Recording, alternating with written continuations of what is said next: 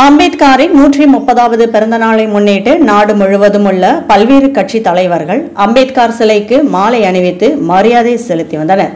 அதன்படி மதிமுக சார்பில் மாவட்ட தலைவர் K M A Nizam Mohammed தலைமையில் கழக நிர்வாகிகள் பலர் கலந்து கொண்டு அம்பேத்கரின் திருவுருவ சிலைக்கு மாலை அணிவித்து மரியாதை செலுத்தினர்.